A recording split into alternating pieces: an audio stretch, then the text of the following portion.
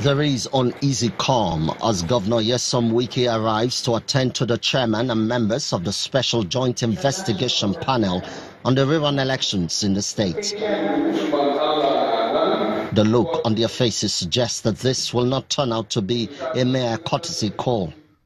We have terms of reference.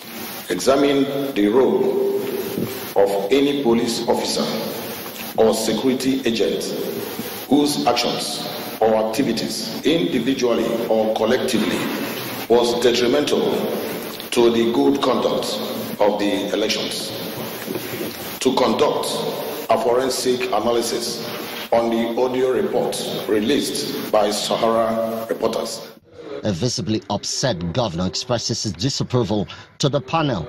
He says it does not have confidence in their investigation. We believe that the panel is already biased.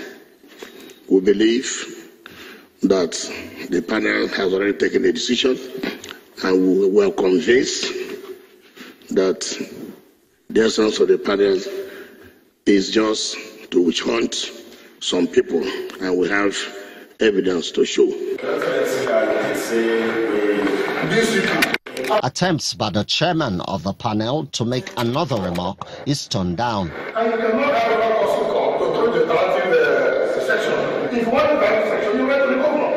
The chairman and members of the investigation panel moved to the headquarters of the River State Police Command to give an account of how far they've gone in the past three weeks. The commander of the SARS team was interviewed by us.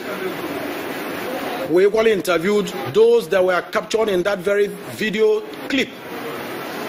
The very persons who were INEC officials who were directing the SARS officers were equally interviewed.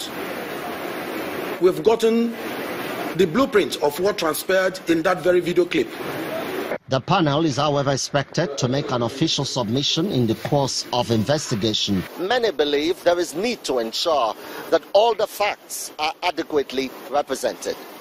Emmanuel Ere, Channels Television News.